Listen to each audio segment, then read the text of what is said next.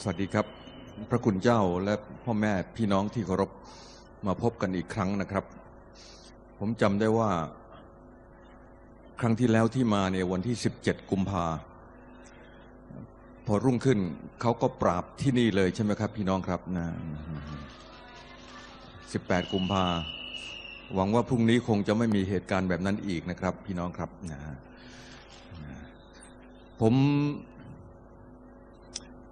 ต้องเรียนพ่อแม่พี่น้องด้วยความเคารพ เพราะว่าเราดู FMTV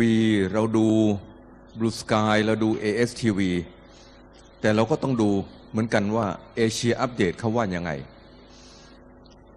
บ่ายนี้ผมก็เฝ้าดูว่าเขาว่ายังไงนะครับวิรการมุสิกพงศ์นัทวุฒิสายเกลือและ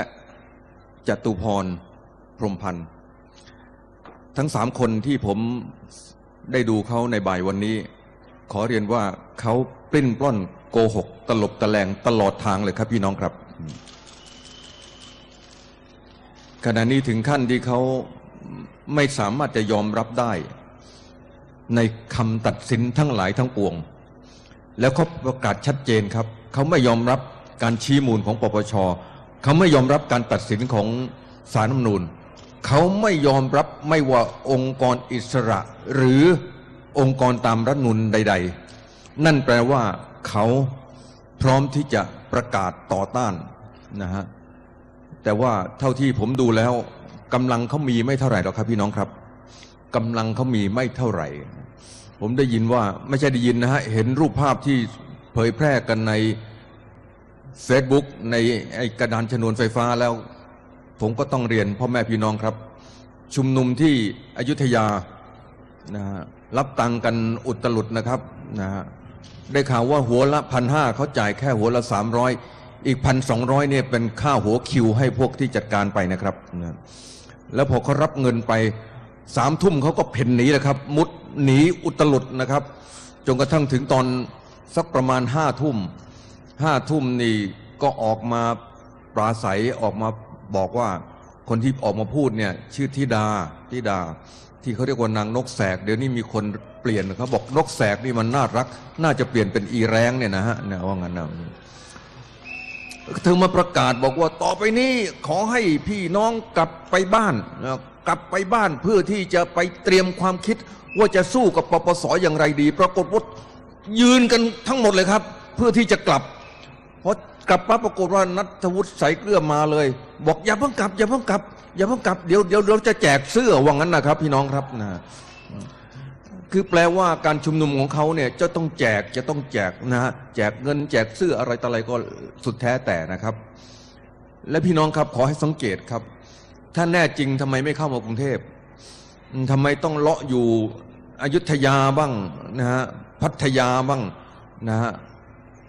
คือถ้าเผื่อมีกำลังจริง ๆ ถ้าเผื่อมีความเชื่อมั่นตัวเองจริง ๆ ต้องเข้ามาที่กรุงเทพครับ เหตุที่ไม่กล้าเข้ามาก็เพราะว่าสู้กำลังพวกเราไม่ได้ครับพี่น้องครับนะสู้ไม่ได้ครับพี่น้องครับ นักมวยเนี่ยจะสู้กันมันต้องขึ้นบนเวทีฮะแต่ปรากฏว่าขณะที่นักมวยอีกฝ่ายหนึ่งอยู่บนเวทีคือพวกเรา ทั้งกปสของกองทัพธรรมทั้งคอปทอยู่บนเวที ปรากฏว่าเสื้อแดง มาร้องท้าอยู่นะฮะคือสมมุติว่าเวทีสวนลุมเนี่ยนะฮะไม่ใช่เวทีราชดำเนิน นักมวยขึ้นเวทีแล้วนะฮะปรากฏว่าพวกนปชยังอยู่ที่ตีนสะพานพระปิ่นเกล้าเลยนะครับรองท้าอยู่ที่นั่นนะครับ ไม่กล้าเข้ามานะครับพี่น้องครับ เอานะฮะผมจะให้ดูคลิปวิดีโอนะฮะอันแรกนะฮะฟ้าครับฟ้าเจ้าหน้าที่ช่วยเปิดคลิปวิดีโออันแรกให้ดูนะครับ ดูซิว่าเขาว่ายังไงนะครับ ผมพยายามเตรียมมาสั้นๆนะครับสามคลิปนะครับ เอาคลิปอันแรกก่อนเชิญเลยครับนะเขาบอกว่าแฮปปี้ดีออกนะครับผมไม่ทราบมีใครได้ยินหรือยังนะครับ อันนี้เนชั่นทีวีเป็นคนทำนะครับ เสียงเลยครับ ขอเสียงเลยครับ มีไหมเสียง ยังไม่มีเสียง ให้ให้ปล่อยเสียงด้วยนะครับ อ่ามาแล้วขอบคุณครับ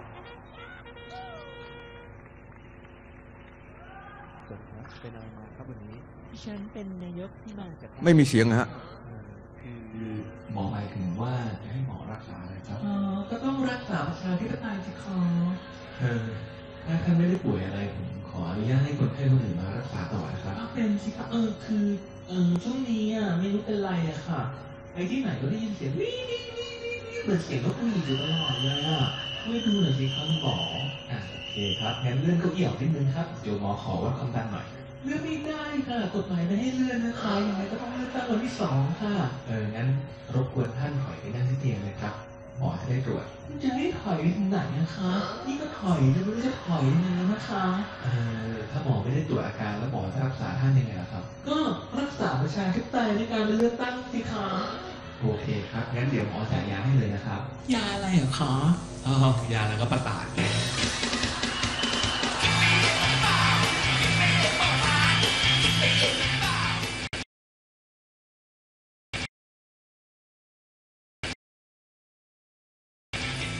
เป็นคนไข้คนนี้นะครับอ้าวช่วยเป่านกหวีดให้กับคลิปตะกี้นี้สักหน่อยครับ พี่น้องครับ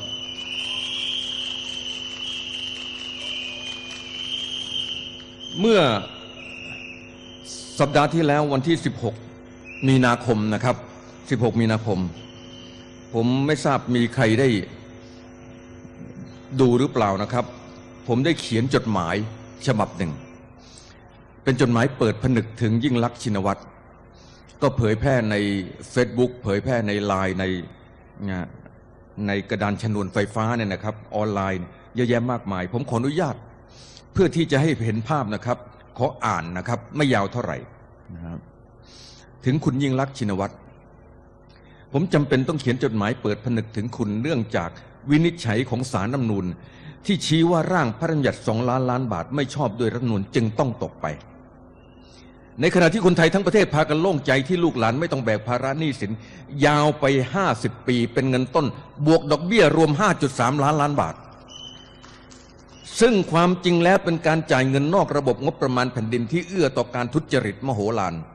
เพราะหลีกเลี่ยงการตรวจสอบตามวิธีการงบประมาณของประเทศ คุณยิ่งลักษณ์กลับออกมาตัดพ้อต่อว่าบีบน้ำตาคลอเบ้า อยากให้มองเจตนา อย่าได้มองข้อกฎหมาย นี่ก็เป็นประโยคหนึ่งของเธอนะครับ อีกประโยคหนึ่งมีการอาศัยใช้ข้อกฎหมายในการไล่ล่ากันทุกวัน แล้วจะหาความสงบในบ้านเมืองได้อย่างไร อย่าใช้กฎหมายหรือองค์กรอื่น ๆ มาตัดสิทธิ์หรือห้ำหัน จนไม่มีพื้นที่ให้อยู่ คนที่ถูกรังแกก็ต้องกลับมายืนสู้ นี่เป็นอีกประโยคหนึ่งนะครับ อีกประโยคหนึ่งเธอบอกว่าคนที่ทำถูกกติกาไม่สามารถอยู่ได้ การที่คนนอกกติกาสามารถอยู่ได้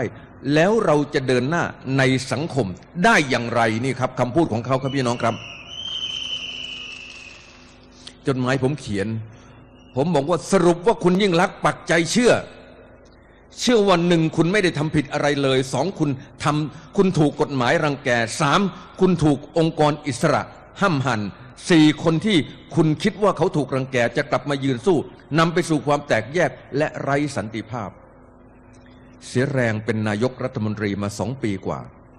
คุณช่างไม่เรียนรู้ไม่พัฒนาสติปัญญาขึ้นมาเลย เป็นดังที่พี่ชายคุณว่าไว้ว่าคุณคือโคลนนิ่งของเขา คุณรู้ไหม คุณรู้ไหมว่าคุณไม่ได้เป็นโคลนนิ่งเพียงนามสกุลหรือ DNA เท่านั้น คุณยังมีจิตสำคัญผิดในตนเองอย่างฝังรากลึก แบบเดียวกับพี่ชายที่ไม่เคยยอมรับความสามารถของตนเองเลย เขาหลงเพ้อว่าชะตากรรมเลวร้ายของเขา เป็นผลแห่งการกลั่นแกล้งรังแกของศาลยุติธรรม องค์กรอิสระ และใครอื่นที่ไม่เห็นด้วยกับตนเอง คุณยิ่งลัก คุณเคยเห็นหมาขี้เรือนหรือไม่ มันจะไปซุกอยู่ตรงไหน มันก็มีอาการคันขยเยอทุกซอกมุมที่มันไปอยู่ แล้วมันก็เห่าใส่ทุกที่ทุกแห่งว่าเป็นเหตุให้มันคัน มันไม่รู้ตัวมันเลยว่าแท้จริงแล้ว ขี้เรือนที่ตัวมันนั่นแหละ เป็นเหตุทำให้มันคัน อุทาหรณ์นี้คุณอาจจะส่งผ่านไปยังพี่ชายของคุณก็ได้นะ พี่น้องครับ อันนี้เป็นความจริงเลยนะความสัตย์จริงเลยนะฮะ หมาขี้เรือนเนี่ย เวลามันไปซุก มันไปกลางถนนมันก็คัน มันไปซุก มันไปอยู่ใต้ต้นไม้มันก็คัน มันไปอยู่มุมบ้านมันก็คัน แล้วมันก็เห่าเองเองเองใส่ ใต้ต้นไม้ใส่ถนนใส่มุมบ้าน ว่าเป็นเหตุให้มันคัน ที่จริงขี้เรือนที่ตัวมันแหละเป็นเหตุให้มันคัน มันไม่รู้ตัวมันเองครับ พี่น้องครับนะ คุณไม่รู้หรือว่าตรกกะของคุณกลับข้างอย่างสิ้นเชิงกับคนทั่วไป คุณคิดว่าคุณและบริวารถูกรังแก ขอถามว่าการชุมนุมประชาชน4เดือนเศษเจ็บ800กว่าคนตาย 21 คนแม้กระทั่งเด็กเล็ก ก็ถูกกระสุนเข้าสาดใส่จนสิ้นลมอย่างไร้ความผิดใด ๆ เลย คุณเคยใยดีอะไรไหม กับความสูญเสียที่เกิดขึ้น แล้วใครถูกโกงจำนำข้าว ใครโกงชาวนา คุณแยกไม่ออกเลยหรือว่า ใครรังแก ใครถูกรังแก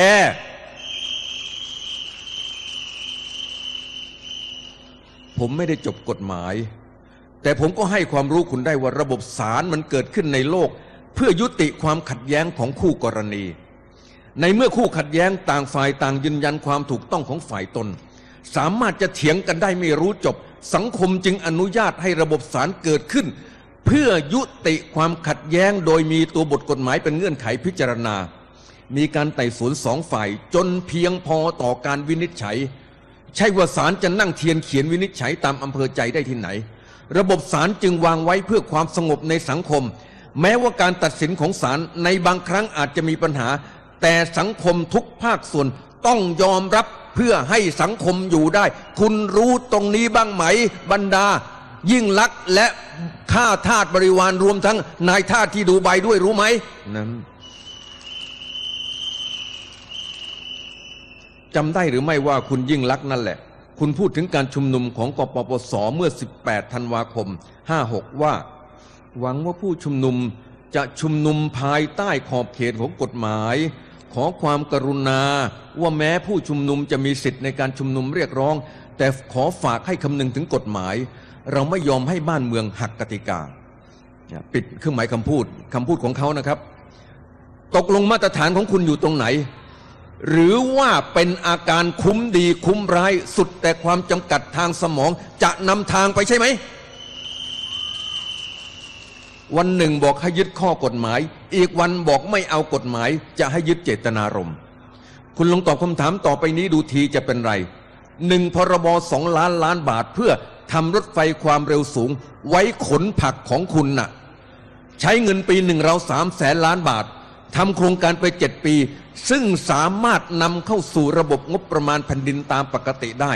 การใช้วิธีนอกงบประมาณแผ่นดิน เป็นการทำลายการตรวจสอบทวงดุลย่อยยับ ใช้หนี้กันถึง 50 ปี ซึ่งนายชัดชาติสิทธิพันธ์รักษาการรัฐมนตรีว่าการคมนาคม ยังดันทุรังจะเดินหน้าต่อ ขอถามว่าเรื่องนี้คุณมีเจตนาอะไรสองพรบนิรโทษกรรมซึ่งสามารถจำกัดวงนิรโทษให้คนผิดและหูโทษได้ แต่กลับไปนิรโทษครอบคลุมถึงพี่ชายที่ต้องโทษจำคุกหนีอาญาแผ่นดินในเวลานี้ คุณมีเจตนาอะไรสามร่างแก้ไขรัฐธรรมนูญที่ว่าโดยที่มาสวที่ทำให้ฝ่ายการเมืองควบคุมวุฒิสภาได้ ครอบงำองค์กรอิสระได้ทำลายการตรวจสอบอย่างสิ้นเชิง คุณมีเจตนาอะไร ที่ปลอมแปลงทั้งเอกสารและเสียบบัตรแทนกันสี่ยังร่างแก้ไขรัฐธรรมนูญมาตรา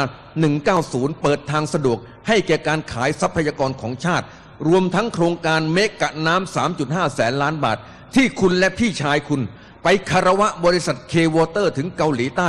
ต่อมาบริษัทนั้นได้งาน floodway ตะวันตก มูลค่ามากกว่า 1 6 0 0 0 0 ล้านบาท คุณมีเจตนาอะไรสอง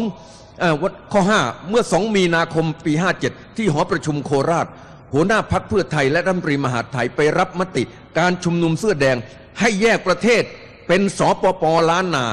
ให้ตั้งกองกำลังอาวุธ ขู่ว่าประชาชนมีปืน10ล้านกระบอก รวมทั้งล่วงล้ำก้ำเกินสถาบันพระมหากษัตริย์ ขอถามว่าคุณมีเจตนาอะไร ลองทบทวนดูทีได้ไหม คุณหรือใครกันแน่ที่เป็นคนนอกกติกา